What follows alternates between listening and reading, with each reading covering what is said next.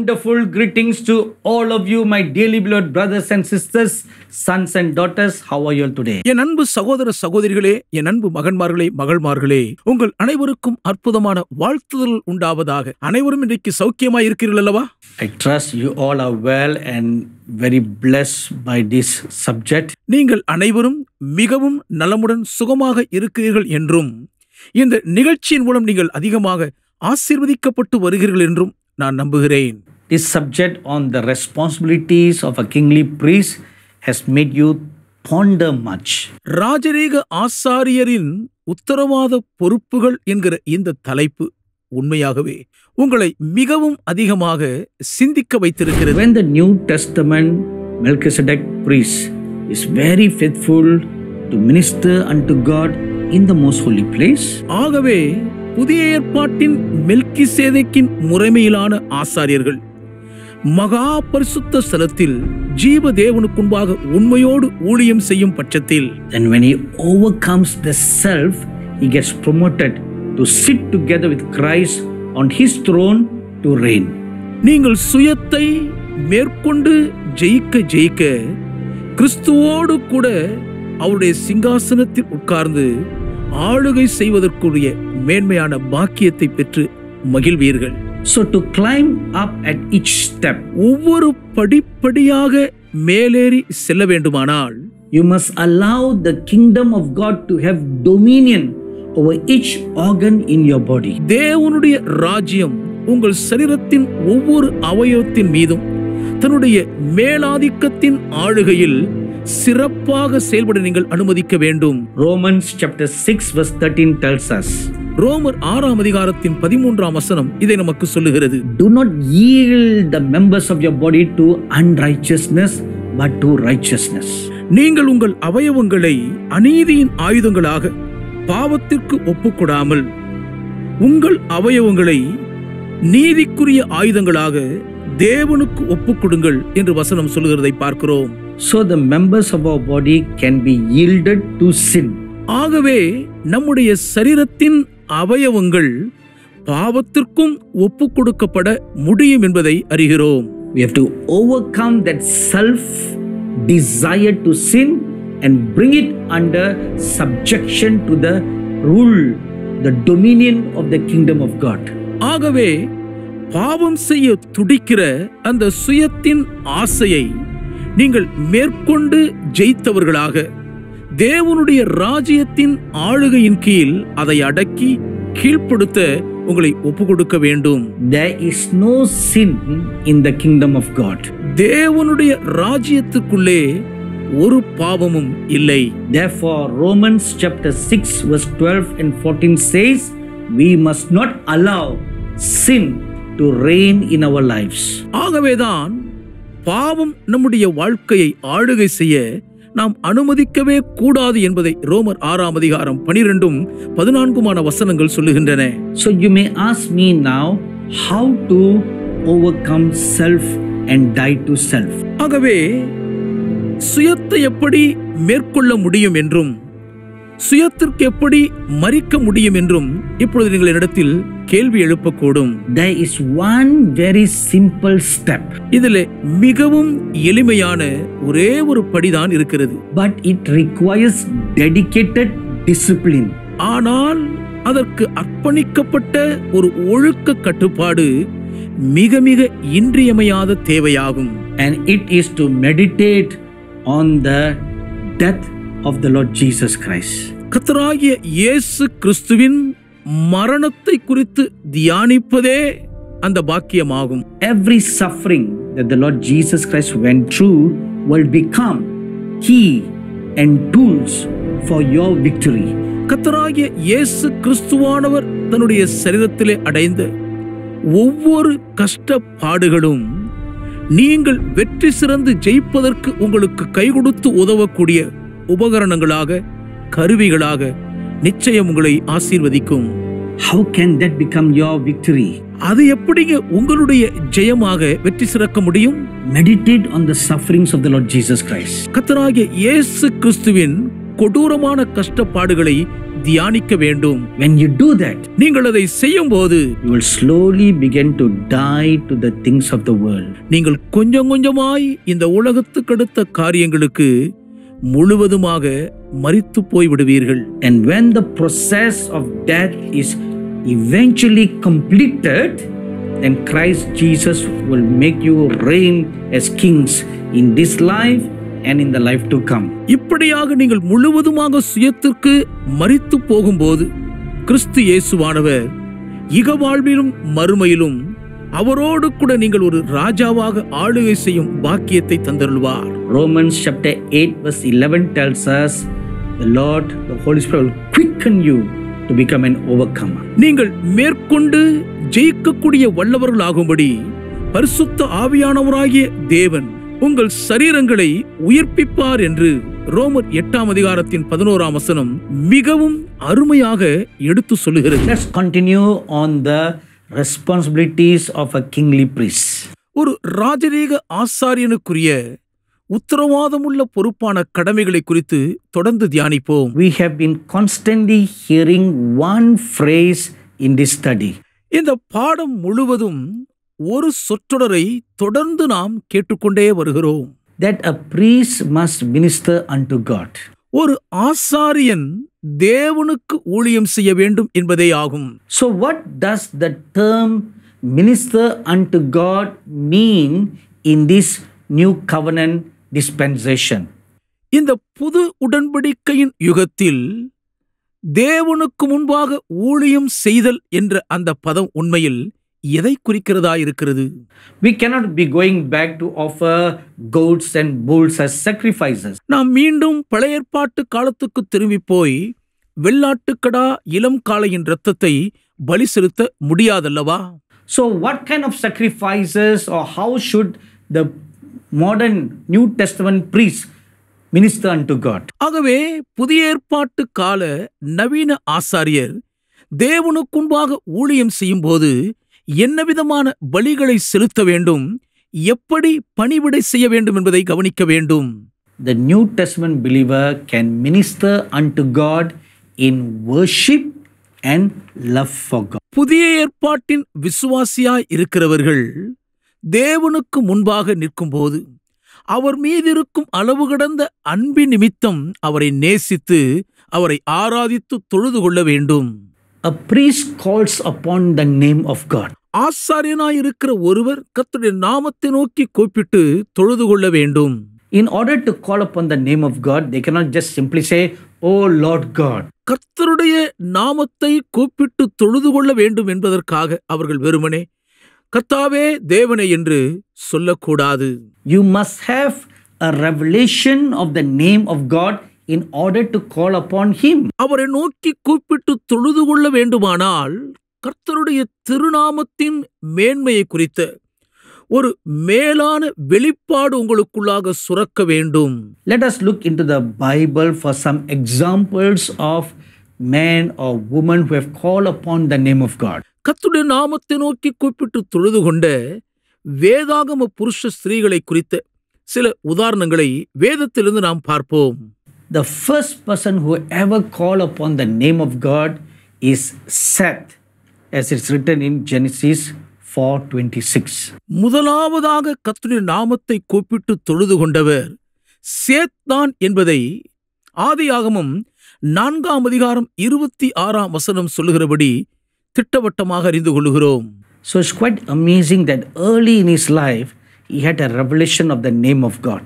தன்னுடைய வாழ்க்கையின் அவ்வளவு சிறுவயதின் ஆரம்பத்திலேயே அவர் கர்த்தருடைய நாமத்தை குறித்த வெளிப்பாடை பெற்றிருந்தது உண்மையில் நம்மை ஆச்சரியத்தில் வியக்க வைக்கிறதல்லவா the second person is Abraham. இரண்டாவதாக கர்த்தருடைய நாமத்தை தொழுது கொண்டவர் ஆபிரகாம் என்பதை அறிய வேண்டும் The Lord revealed himself to him. கர்த்தர் தாமே தம்மை ஆபிரகாமுக்கு வெளிப்படுத்தினார் In Genesis chapter 12, verse 8, a name of God or his characteristic name was revealed to Abraham.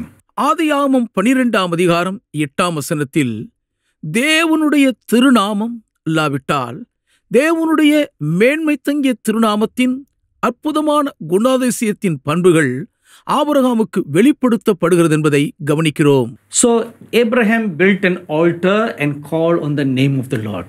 ஆகவே ஆபிரகாம் ஒரு பலிபீடத்தை கட்டி கர்த்தருடைய நாமத்தை தொழுது கொண்டார் The third person is Isaac. மூன்றாவதாக ஈசாக்கு கர்த்தருடைய நாமத்தை தொழுது கொண்டவராக பார்க்கிறோம் In Genesis chapter 26, verse 25, it says, He built an altar unto God and called on the name of the Lord. அங்கே ஈசாக்கு கர்த்தருக்கு ஒரு பலிபீடத்தை கட்டி கர்த்தருடைய நாமத்தை தொழுது கொண்டார் என்று ஆதியாகமம் இருபத்தி ஆறாம் அதிகாரம் இருபத்தைந்தாம் வசனம் சொல்லுகிறது And the fourth person is Jacob. நான்காவது நபர் யாக்கோப் ஆவார் In Genesis chapter 28, verse 18 and 19, we read, He had an open vision of God. ஆதியாகமம் இருபத்தி எட்டாம் அதிகாரம் பதினெட்டும் பத்தொன்பதுமான வசனங்களில் யாக்கோபு தேவனை தரிசனத்தில் கண்டார் என்று தெளிவாக பார்க்கிறோம் And he built an altar and called on the name of the Lord God. யாக்கோபும் கர்த்தருக்கு ஒரு பலிபீடத்தை கட்டி கர்த்தருடைய நாமத்தை தொழுது கொண்டார் And Psalms 99, verse 6 says that Samuel the prophet too always built altars, offered sacrifices, and called on the name of the Lord God. Samuel தீர்க்கதரிசியும் கூட கர்த்தருக்கு அடிக்கடியாக பல பலிபீடங்களை கட்டி பலி செலுத்தி கர்த்தருடைய நாமத்தை தொழுது கொண்டார் என்று தொண்ணூத்தி ஒன்பதாம் சங்கீதம் ஆறாம் வசனம் எடுத்து சொல்லுகிறதை பார்க்கிறோம் And what about the New Testament saints? அப்படியானால் புதிய ஏற்பாட்டு பரிசுத்தவான்களை குறித்து என்ன சொல்லலாம் We have a revelation of a name. நமக்கும் அவருடைய திருநாமத்தை குறித்த ஒரு வெளிப்பாடு உண்டாயிருக்கிறது That is the name Jesus. அதுவே இயேசு என்னும் திருநாமமாகும் That name has been lifted high above all other names. இந்த இயேசு என்னும் திருநாமம் மற்ற எல்லா நாமங்களுக்கும் மேலாக மிகவும் அதிகமாக மேன்மையாக உயர்த்தப்பட்டிருக்கிறது At the mention of that name, everything in heaven, everything on the earth, and everything under will bow down and worship. இயேசு என்னும் இந்த திருநாமத்தை உச்சரித்தாலே போதும் வானத்திலும் பூமியிலும் பூமிக்கு கீழுள்ள அனைத்தும் அவருக்கு முன்பாக விழுந்து தெண்டனிட்டு பணிந்து அவரை தொழுது கொள்ளுகின்றன So we call upon the name of the Lord Jesus Christ in worship and adoration of love.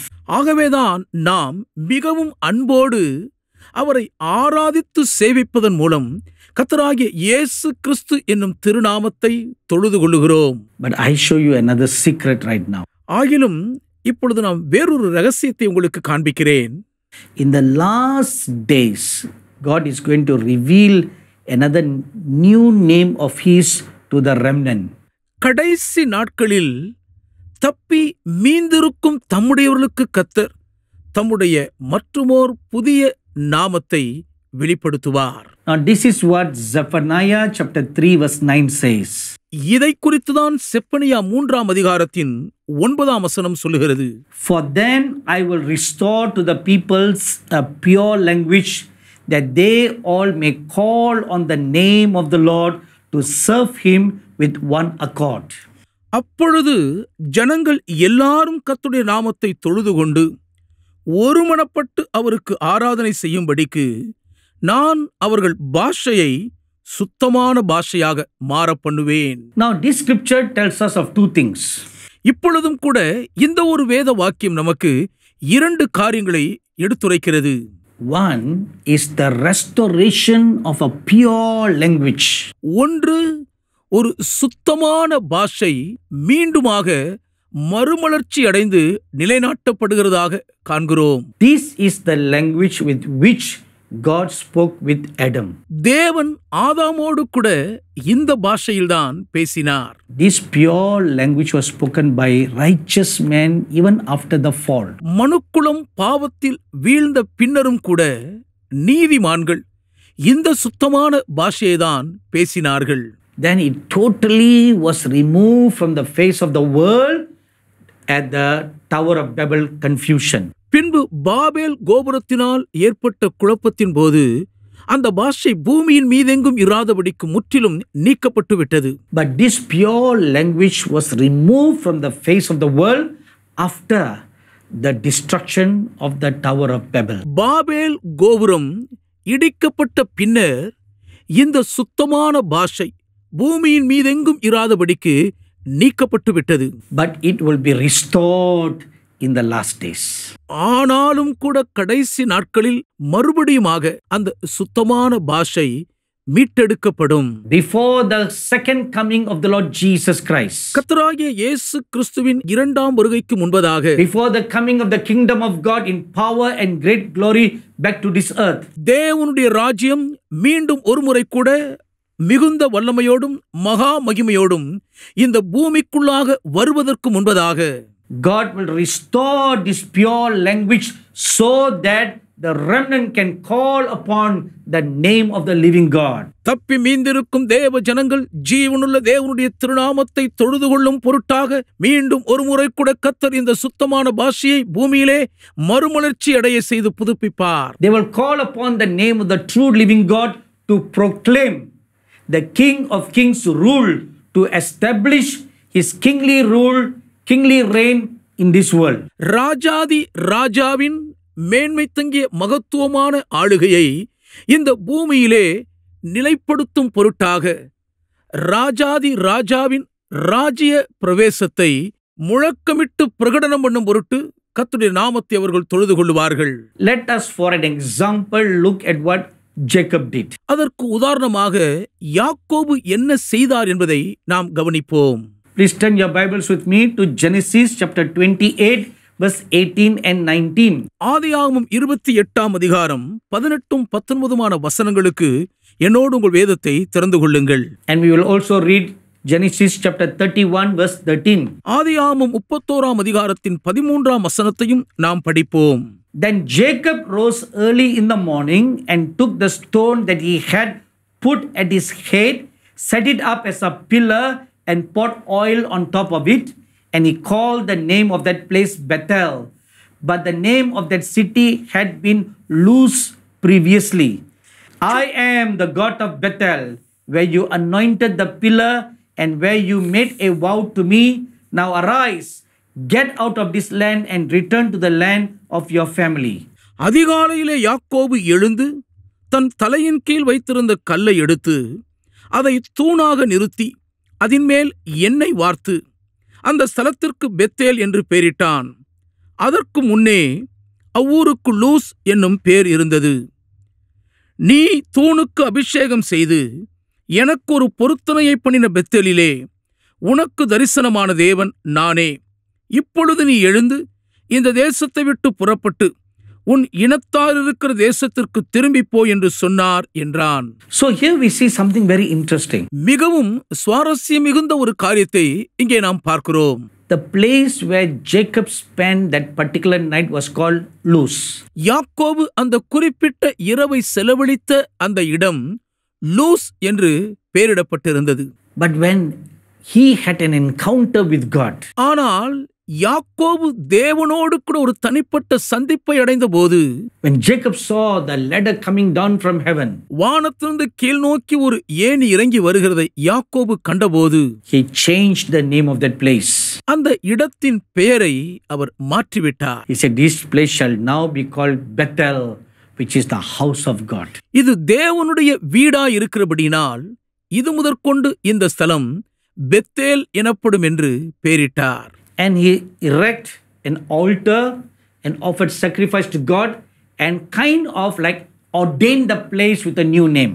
அந்த இடத்திலே ஒரு பலிபீடத்தை கட்டி ஒரு கல்லை தூணாக நிறுத்தி தேவனுக்கு அவர் பலிகளை செலுத்தி அந்த இடத்திற்கே ஒரு புதிய பெயர் சூட்டுவது போல அங்கே அவர் கிரியை செய்கிறதை பார்க்கிறோம் Later on, the Lord appeared to him again in another place. பிற்பாடு வேறொரு இடத்திலே கத்தர் யாக்கோபுக்கு தரிசனமாகிறார் And the Lord told him, கத்தர் யாக்கோபிடம் சொல்லுகிறார் I am the God of Bethel, where you erected an altar and sanctified it. நீ எனக்காக ஒரு பலிபீடத்தை கட்டி ஒரு தூணுக்கு அபிஷேகம் செய்த பெத்தேலிலே உனக்கு தரிசனமான தேவன் நானே என்று கத்த சொல்லுகிறார் Look how God calls himself. இங்கே தேவன் தம்மை யார் என்று சொல்லுகிறார் என்பதை கவனியுங்கள் His name is the God of Bethel. அவருடைய திருநாமம் பெத்தேலின் தேவன் என்பதாகும் Or in Hebrew can we say El Bethel. எபிரேய மொழியில் ஏல் பெத்தேல் என்றும் சொல்லலாம் And the patriarchs in the Old Testament built altars at strategic places and call upon the name of the living God. பழைய ஏற்பாட்டு முற்பிதாக்கள் சில முக்கிய கேந்திரங்களில் கத்தருக்கு பலிபீடத்தை கட்டி கத்தருடைய திருநாமத்தை தொழுது கொண்டார்கள் in the same manner, we can too proclaim the name of the Lord Jesus Christ over places and reclaim it for the kingdom of God's rule and reign. அதே விதமாகத்தான் இந்த பூமியிலே வாழ்ந்து கொண்டிருக்கும் புதிய ஏற்பாட்டு விசுவாசிகளாகிய நாமும் பல புதிய இடங்களுக்கு கர்த்தருடைய நாமத்தை தரிப்பித்து அவ்விடங்களிலெல்லாம் தேவனுடைய ராஜரீக ஆளுகையின் ராஜாங்கத்தை வருவிப்பதற்கு ஆவண செய்ய முடியும் That is one of the responsibilities of the kingly priests. ராஜரீக ஆசாரியருக்குரிய மற்றுமோர் மிக சிறந்த உத்தரவாத பொறுப்புகளில் இது ஒன்றாகும் Amen. Amen Let's continue this subject next week. மீண்டும் அடுத்த வாரம் இதே பாடத்தை நாம் தொடருவோம் God bless you. all. கத்தர் உங்கள் அனைவரையும் ஆசீர்வதிப்பாராக Send us your testimonies and feedbacks to Angel TV, Villivakkam, Chennai 49, Tamil Nadu, India. Our email address info at angeltv.org.